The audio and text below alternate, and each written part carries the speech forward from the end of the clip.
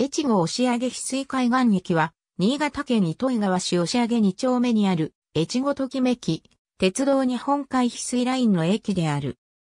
当地への駅設置は、国鉄時代の1972年に、県立糸魚川高校が、現在地に移転した時から誘致の機運はあったが、近隣に、高直流境界のデッドセクションが設置されており、当該エリアに電車が停車してしまうと、デッドセクションを惰性で通過するための加速力が足りないために実現されなかった。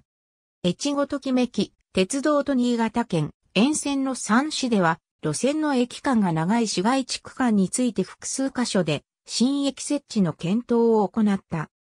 そのうち、糸魚川駅梶屋敷駅間にある再開踏切付近の押上駅については、糸魚川高校と健康青連、糸魚川総合病院への通学、通院需要が見込めるため、費用対効果がより高いとして先行して整備する方針が示され、2019年9月に、仮称、押上新駅として認可された。なお、越後ときめき鉄道移管後、本区間を通過する定期旅客列車は一部を除いて、機動車を用いているため、前述の制約は解消されている。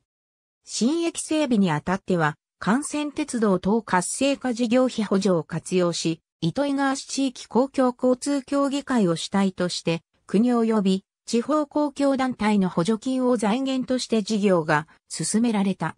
事業費は約6億円で、そのうち3億1000万円を糸魚川市が拠出した。駅名は糸魚川市が市内に在住もしくは通勤通学している人を対象に2020年6月10日から同年7月10日に行った駅名の公募で最多だった押上都市の観光地である翡翠海岸などを盛り込み観光的な要素、地域性を含んだものである。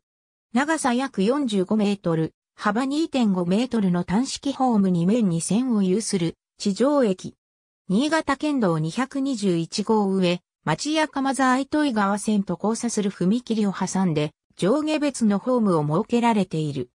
駅舎は、糸魚川駅方面の乗り場に設置され、当駅のある、押上地区がもともと漁師町であったことから船小屋をイメージしたデザインとしている。駅舎内には、内装に糸魚川市の木材を使用した待合室がある。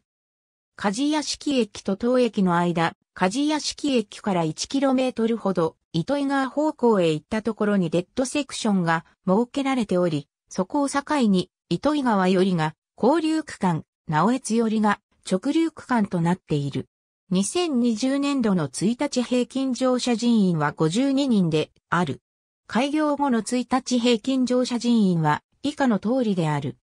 駅の北側を東西方向に走る新潟県道222号西中、糸魚川線は古くからの街道筋であり、間口が狭く奥行きの長い建物が高密度に続いている。一方、線路の南側はもともと一面の農地であったところに、高度成長期後に建物が立ち始め、現在では住宅や店舗、事業所と農地が混在する。駅前に、越後押上翡翠海岸駅前バス停があるが、停車しない便が多い。そのため、駅北側へ、徒歩、約2分の県道222号沿い、押上一丁目バス停が実質的に最寄りとなっている。以下は2021年3月13日改正時点でのものであり、すべて糸井川バスによる運行。ありがとうございます。